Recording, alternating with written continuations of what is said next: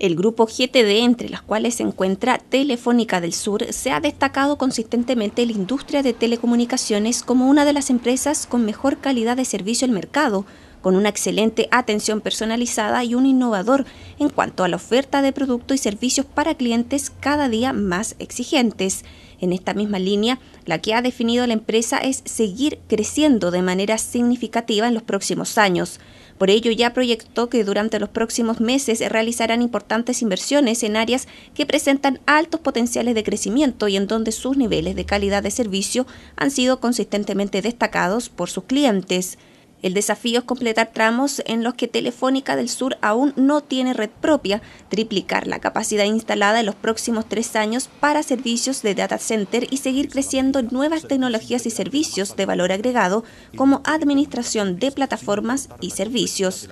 A mediados de este año se proyectan más de 20.000 servicios en telefonía móvil y se potenciará la oferta residencial a través de la fibra óptica a la casa, internet con banda ancha superior a 100 mega y televisión digital. Adicionalmente, el grupo GTD está evaluando la posibilidad de expandir su negocio en otras zonas de América Latina.